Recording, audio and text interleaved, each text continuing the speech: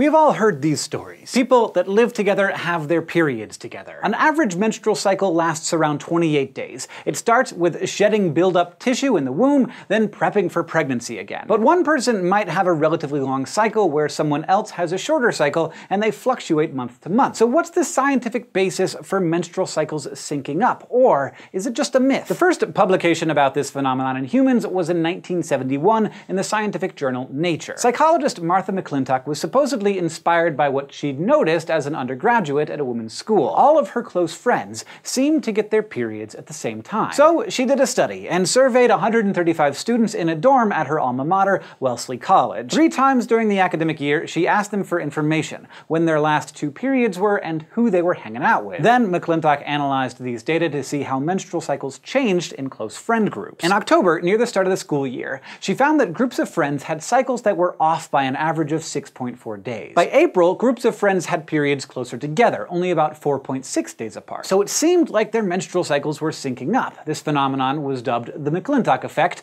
though it's more formally known as menstrual synchrony. But the driving force was still a mystery. Some researchers, including McClintock, hypothesized that pheromones were involved. Pheromones are chemical substances that are released by an animal and detected by others in the same species, causing a behavioral or physiological reaction. Some animals use them to communicate, and they're common in lots of social insects like ants or bees. A couple studies in the late 1970s and 80s, including experiments by McClintock, looked into menstruation and pheromones in some mammals like rats, hamsters, and two non-human primates. Most of these studies involved groups of around two to five animals. Their menstrual cycles seemed to align if they were breathing the same air, so maybe airborne pheromones were involved. But researchers in the late 1990s and early 2000s tried to repeat some of the rat and hamster studies and weren't able to reproduce the results. Without consistent findings, we can't really know if menstrual synchrony exists in mammals or if it's caused by pheromones. Not to mention, those animals and humans aren't the same. For one thing, we still don't really even know if humans make pheromones. But some researchers have conducted human studies to try and replicate McClintock's initial findings. Throughout the 1990s, a team of psychologists surveyed close-knit groups of women, including college students in dorms,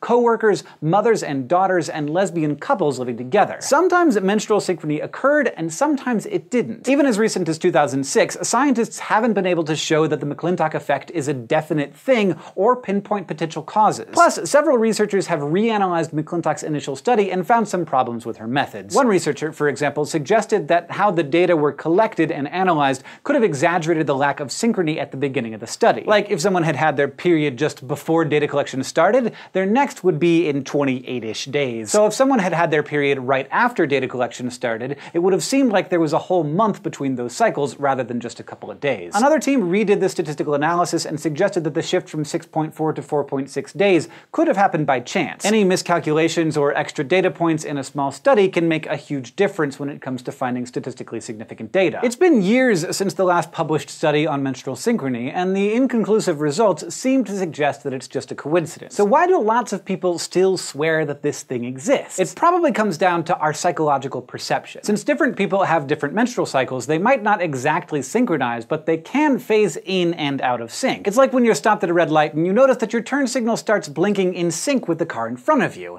If you wait a little bit, it'll phase out of sync. But if you wait even longer, then you'll be blinking in unison again. So maybe with a relatively short study on menstrual cycles, like seven or eight months in McClintock's study, it might seem like there's synchrony. Overall, it seems like McClintock's effect just doesn't have enough conclusive research to back it up. But it does show that a good science experiment isn't just about proving or disproving something. It's about checking your biases, designing well-controlled studies that are reproducible by other scientists, being careful with your statistics, and always asking new questions. Thanks for watching this episode of SciShow, which was brought to you by our patrons on Patreon. If you want to help support this show, just go to patreon.com slash scishow, and don't forget to go to youtube.com slash scishow and subscribe. The evidence isn't new. For example, Sweden has collected demographic data since before 1800, and even then women had a life expectancy of 33 years, while men had 31. Plus, it's a global